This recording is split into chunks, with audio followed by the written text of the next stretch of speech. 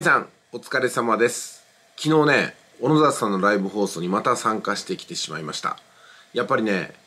あのタマホームの2万円のクオカード話題に出てましたね。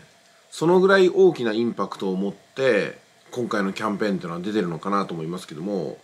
このハウスメーカーさんのね打ち出している顧客獲得作戦っていうのは今ね本当にね断末魔を迎えてると言ってもいいと思います。実際に1月そして2月にかかって私10社以上の住宅展示場のこういったね案件に参加させてもらって実際に家を建て替えるもしくはリフォームするための資料をたくさんいただいてきたんですけども各ハウスメーカーさんほんとしのぎを削ってるってことですよね。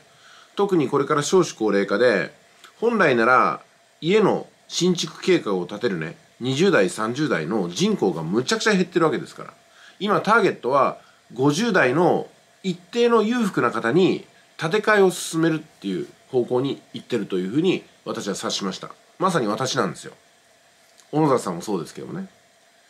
私は今一戸建てに住んでますから土地はもうあるわけですよ。でローンの残債がないんですよ。ということは上物を取っ払って新しく建てるための費用に全振りできるんでそこに3000万なり4000万使っていきましょうってこと。あとは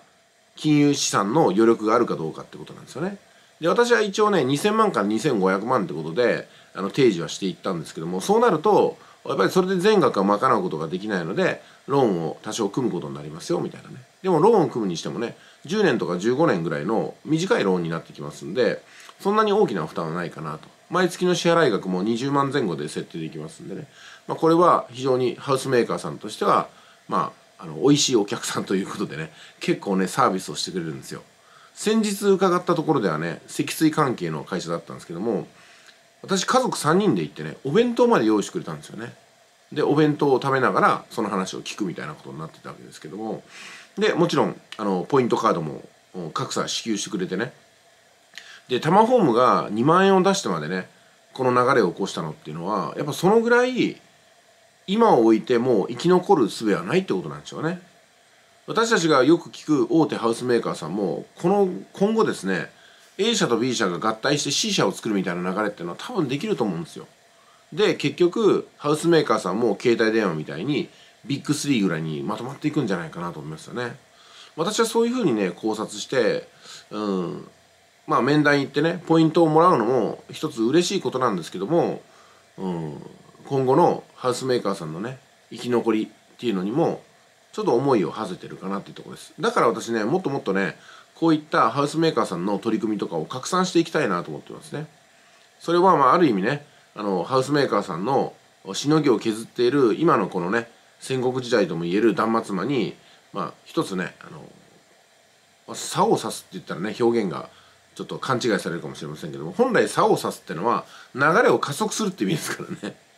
なぜかね竿を刺すっていうのは流れを止めるみたいな勢いにあの誤解されてますけども実際はあのなんですかね渡し船ってあるじゃないですか。渡し船って竿を刺さないと進まないんですよ。だからより早く進めるために竿を刺すって表現を使ってるのになぜか現代ではねもう渡し船っていう文化がなくなったから勘違いされてるみたいで竿を刺すっていうの流れを止めるみたいに 勘違いされちゃってるんですけどもはいまあ余談でしたね。まあでもハウスメーカーさんがそうやってねしのぎを削ってる中で私も拡散活動してこっちのハウスメーカーさんこうだよああだよっていうね特徴を知らせすることによってね